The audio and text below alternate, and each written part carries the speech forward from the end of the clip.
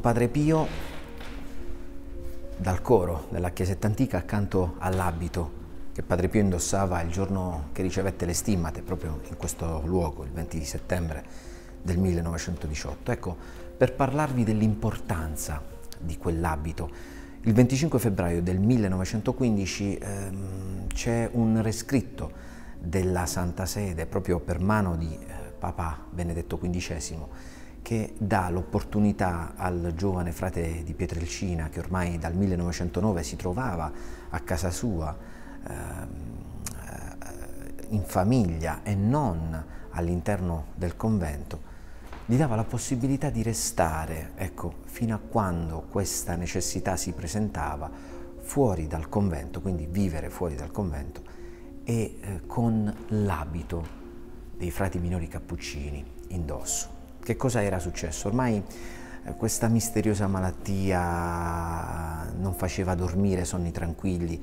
e al superiore provinciale, a padre Benedetto e anche al superiore generale. Lo stesso padre Pacifico da Seggiano paventò proprio questa idea di una mm, secolarizzazione di questo giovane frate cappuccino, quindi eh, incardinarlo nell'arcidiocesi di Benevento come un prete.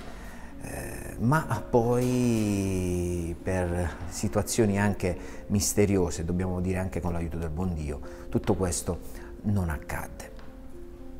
Come ben sappiamo l'avevano legato al Santo di Assisi due decisioni, quella dei genitori che lo chiamarono Francesco e, e quella sua propria di essere legato a questo abito come figlio di San Francesco. Per 65 anni eh, Padre Pio restò fedele alla chiamata francescana, tanto è vero che intorno al 1914, quando lui risiedeva nella sua Pietrelcina per questa misteriosa malattia, su pressione dell'arciprete Don Salvatore Pannullo, eh, che quasi voleva indurlo a rinunciare a mm, questa vita severa, cappuccina e dedicarsi così al ministero parrocchiale.